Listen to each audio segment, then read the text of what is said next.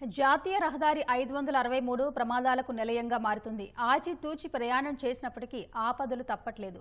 గత మూడు వారాలుగా వరంగల్ ఖమ్మం జాతీయ రహదారిపై ప్రమాదాలు జరుగుతూనే ఉన్నాయి. రోడ్డుపై ఏర్పడిన గుంతలు మలుపుల వద్ద సూచికలు లేకపోవడంతో ప్రయాణికుల ప్రాణాలు గాల్లో కలుస్తున్నాయి.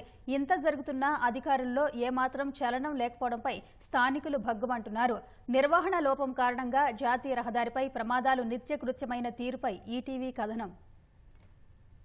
ఇది వరంగల్ ఖమ్మం జాతీయ రహదారి ఐదు వందల అరవై మూడు. పేరుకు నేషనల్ హైవే అయినా ప్రయాణికులు ప్రాణాలు అరచేతిలో పెట్టుకుని పోవాల్సి వస్తోంది. రోడ్డు పొడవునా ఏర్పడిన గుంతలు మూల మలుపులను సూచించే బోర్డులు లేకపోవడంతో ప్రమాదాలు నిత్య కృత్యమవుతున్నాయి. వేగంగా వచ్చే వాహనాల ధాటికి కొందరు అక్కడే మృతి చెందుతుండగా మరికొందరు తీవ్ర గాయాలతో ఆసుపత్రుల పాలవుతున్నారు. నేషనల్ హైవే అథారిటీ అధికారుల పర్యవేక్షణ లోపం ప్రమాదాలకు మూల కారణమవుతోంది. రోడ్డుపై ఏర్పడిన గుంతల కారణంగా రాత్రివేళ ప్రయాణం కష్టమైపోతోంది.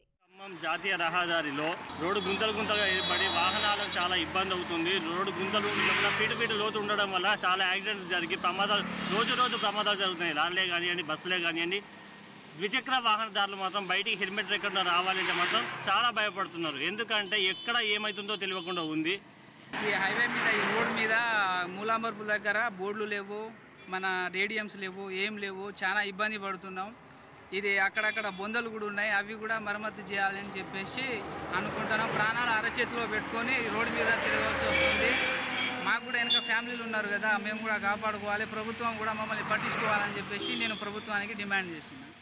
వర్ధన్నపేట మండలం ఇల్లంద వద్ద మూడు వారాల క్రితం రాజస్థాన్కు చెందిన లారీ ఆటోను ఢీకొట్టడంతో ఆరుగురు ప్రయాణికులు అక్కడికక్కడే మృతి చెందారు. వారం రోజుల్లో లారీ ఇళ్ళపైకి దూసుకెళ్ళటం కారు చెట్టును ఢీకొనటం ద్విచక్ర వాహనం అదుపు తప్పి కూలీలకు తీవ్రంగా గాయాలైన సంఘటనలు వరుసగా జరిగాయి. అంతేకాకుండా ఇటీవల వర్ధన్నపేట ఎస్ఐ సైతం ప్రమాదానికి గురై ప్రాణాలతో బయటపడ్డాడు. ఇలా వరంగల్ ఖమ్మం జాతీయ రహదారులపై ప్రమాదాలు శరామామూలయ్యాయి. రోజు ప్రతిరోజు ఏదో ఒక యాక్సిడెంట్ అయితేనే ఉన్నది ఒకరి ప్రాణాలు పోతూనే ఉన్నాయి ఏమున్నా ఎప్పుడు ఎలక్షన్లు వస్తాయి ఎప్పుడు మేము అధికారంలోకి రావాలి అని తప్ప ఈ ప్రజల బాగోగులు చూసుకునే నాయకుడు లేడు.